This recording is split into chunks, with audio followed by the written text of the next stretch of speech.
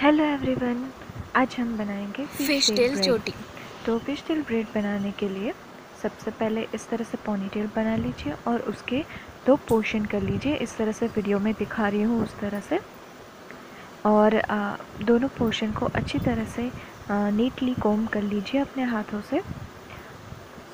इस hair style के लिए आ, इसका नीट होना बहुत ही ज़रूरी है क्योंकि तभी ये बहुत अच्छा लुक हो देगा आपको। अभी एक पोर्शन से आप पीछे से लेके थोड़ा सा पोर्शन इस तरह से ट्विस्ट कीजिए। दूसरे पोर्शन के साइड भी नीचे से थोड़ा सा पोर्शन लेके इस तरह से ट्विस्ट कीजिए दूसरे पोर्शन पर। उसी तरह से रिपीट प्रोसेस कीजिए। एक पोर्शन में से थोड़ा सा पोर्शन लेके दूसरी तरफ़ थोड़ा सा ट्विस्ट कीजिए।